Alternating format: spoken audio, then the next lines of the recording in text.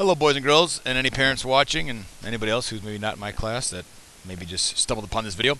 I wanted to give, uh, boys and girls, I wanted to give you guys a visual representation of how to divide fractions.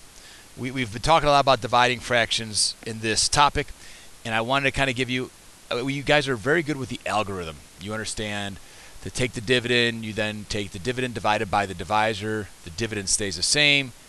You take the uh, inverse operation of division, which is multiplication, and then you take the reciprocal of the divisor, and then we multiply numerator times numerator, denominator times denominator, simplify if needed. Uh, and that's great. It's great that you understand that algorithm. Now I want to do, still want to show you kind of, to get you to understand why that works and to visually see that. So if we take a look at something, and let's just start something basic. Let's just go with 3 fourths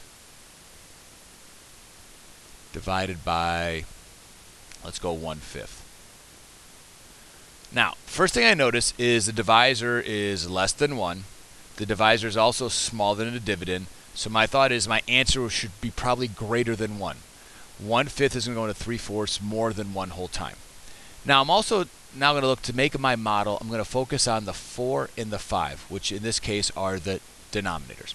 And I'm going to make two 4 by 5 boxes or rectangles.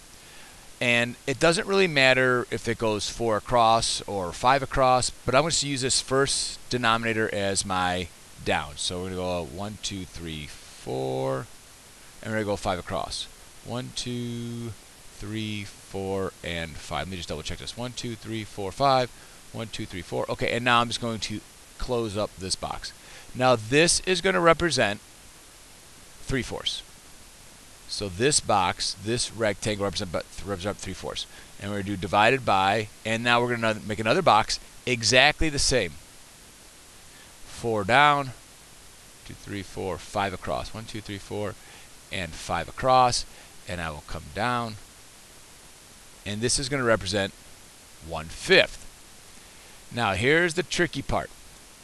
I need to shade in appropriately 3 fourths.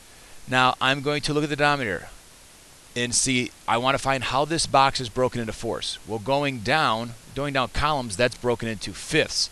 That's not the same as fourths. Going across in rows, it's broken into fourths. And I see that three fourths are shaded. So I'm going to shade in three of the four. Let me make my this a little bitter. So we have one, two, and three of the three of the four fourths shaded. We have three of the four shaded.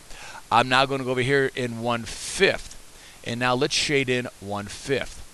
And again, same thing. I need to find where is this broken into fifths. One, two, three, four, five. Ah, there it is.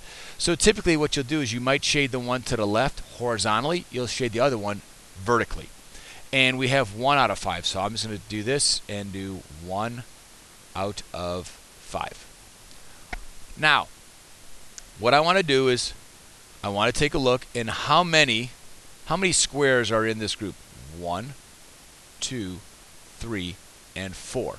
So what I want to do is I want to know is how many how many groups of four I can make in the three fourths. So how many groups of four can I make in the three fourths? And all I'm going to do is I'm going to start to circle them. So let's take a look. We have one, two, three, and let me change the color there to make this stand out a little bit better. Uh, let's go with one, two, three, and four. There is a group of four. I might put a one there, just so I don't forget. Let's do another group of four. Hey, look at this. I'm going to change colors again. There is another group of four. Perfect square. So now I have two groups of four. Let's find another group of four. One, two, three, and four. So there is my third group of four. And it looks like now I just have these three, but I cannot make a group of four with those three. So that means I have three whole groups I have three whole groups, and I was making groups of four, so that becomes my denominator, and I have three remaining, three left over. That becomes my numerator. So 3 fourths divided by 1 fifth is equal to 3 and 3 fourths. Just to verify this answer, I'm now going to solve this using the algorithm we're using in class. We have 3 fourths divided by 1 fifth. We've been now changing that to the dividend stays the same. We multiply by the reciprocal of the divisor, which becomes 5 over 1. I cannot do any cross reduction between 5 and 4. They don't have any common factors, nor do 3 and 1. So I just simply multiply numerator times numerator, which is 15. 4 times 1 is 4. I don't want to leave this as an improper fraction. 4 goes into 15 three whole times. The denominator travels with us.